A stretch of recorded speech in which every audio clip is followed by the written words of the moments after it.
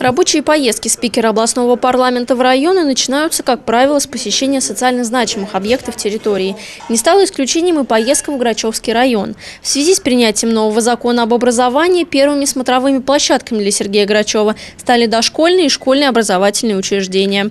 С этого года вся образовательная сфера живет по новым правилам. В законе впервые прописан статус малокомплектных школ, которых только в Оренбургской области более 380. Если школа есть, то в ней должны быть созданы все условия вне зависимости. Малокомплектные, не малокомплектные. А все, что в городе, что в селе, что в райцентре, что вот в таком небольшом селе. Все они должны соответствовать и по э, комфорту, и по э, качеству, которое дается знание. Сейчас в Грачевском районе на реконструкции находятся два детских сада. Из бюджетов различных уровней на ремонт дошкольных учреждений выделено свыше 22 миллионов рублей. Около половины суммы пойдет на ремонт детского сада в селе Петрохерсонец. Сегодня уже готовится проект реконструкции здания, согласно которому сад будет отвечать всем современным стандартам дошкольного образования.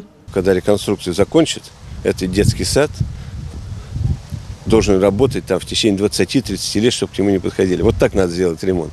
Тем более, что здесь есть перспективы. Подводя итоги поездки, председатель законодательного собрания подчеркнул, что социальная политика как аксиома всегда должна быть в приоритете у всех органов власти. Светлана Семенида, Владимир Жидов.